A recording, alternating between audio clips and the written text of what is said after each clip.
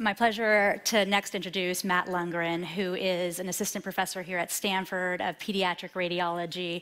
Um, he is also the associate director of our new Stanford Center for Artificial Intelligence in Medicine and Imaging, um, and is going to share some of his work in bringing AI to imaging. Um, and I'm very excited that he's doing a lot of that in the pediatric setting. So, welcome, Matt. Thanks. Hi, how's everybody doing? Uh, a lot of radiologists and pathologists clearly want to use these tools, and we get it. Um, but we're getting a lot of interest from clinicians, clinicians that don't normally interpret images. And um, here's what they tell us. So they have a patient, um, they're you know, working them up for maybe pneumonia, and then they're waiting. They're waiting for a result from the radiologist because the radiologist's busy, right? They have a lot of things to do, they have a lot of things to prioritize, and they get overwhelmed. There's a lot of deep learning companies and projects that are focusing on making that radiologist more efficient, and that's great. But we've been wondering could we potentially make the clinician more efficient? And could we give them the power of these AI tools to make diagnoses on their own in the clinic? And so that's the question we've been asking scientifically. Um, we take uh, primary care docs, surgeons, even nurse practitioners, and we randomize them into two groups. One gets AI assistance, one does not. We have them go through imaging studies.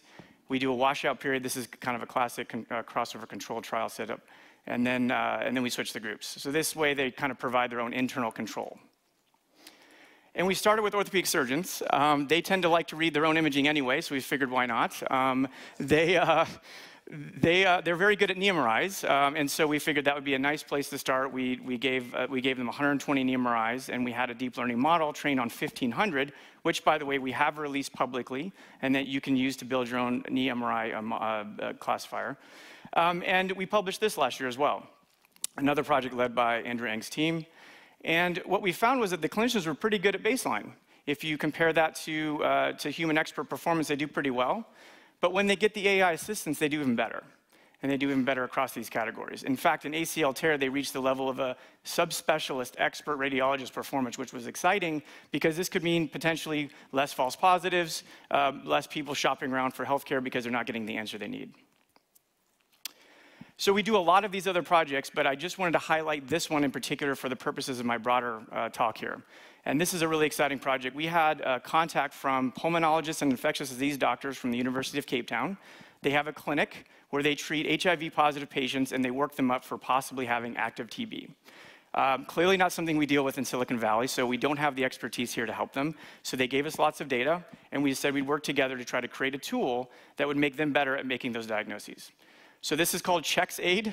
Pardon the name, it's just the best we could do. Uh, but we developed a tool now that can take some of the clinical data about these patients and the pixel data and help the clinician at the point of care make a decision. Do, do I think this person has active TB or not? And we base this, or the model was trained on using ground truth of sputum cultures, which is the gold standard.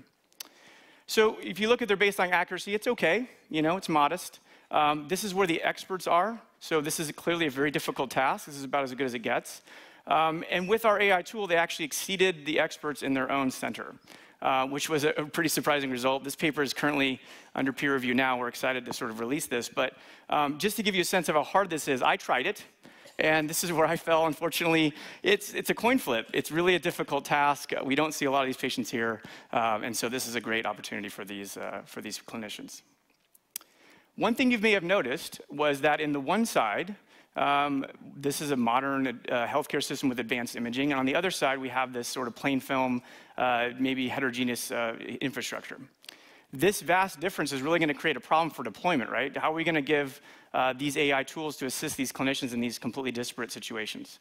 Um, you might know where I'm going with this. We're going to use the smartphone, right? Okay, so this is the this is the thing that's in everyone's hands right now. Some of you may be looking at your smartphone. It's okay. I do it too. Um, but we know that more people have access to smartphones than they do to clean water. And so if we can leverage this to deploy some of these tools, we can potentially get closer to that thing I talked about earlier about addressing some of those disparities.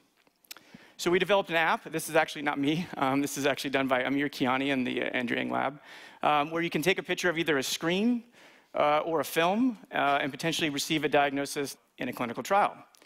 And that might look like this. You go and see your doctor, you have a cough. The doctor takes a x-ray, is able to take a picture of that, confirm their suspicion of maybe you have pneumonia, and is able to treat you and send you home. Now, if you're at an urgent care clinic and you're a nurse practitioner, this could really uh, enhance care, right? It can potentially provide some big advantages. But if you're in a different part of the world where you're using film or you don't have the same efficiencies, this smartphone platform would still work. Um, and the idea here is that it's scalable, and we get to a place where we can, again, do some of the things that we, we set out to do at the beginning. So this is the tagline, radiologic expertise in a smartphone. Clearly has all the packages here.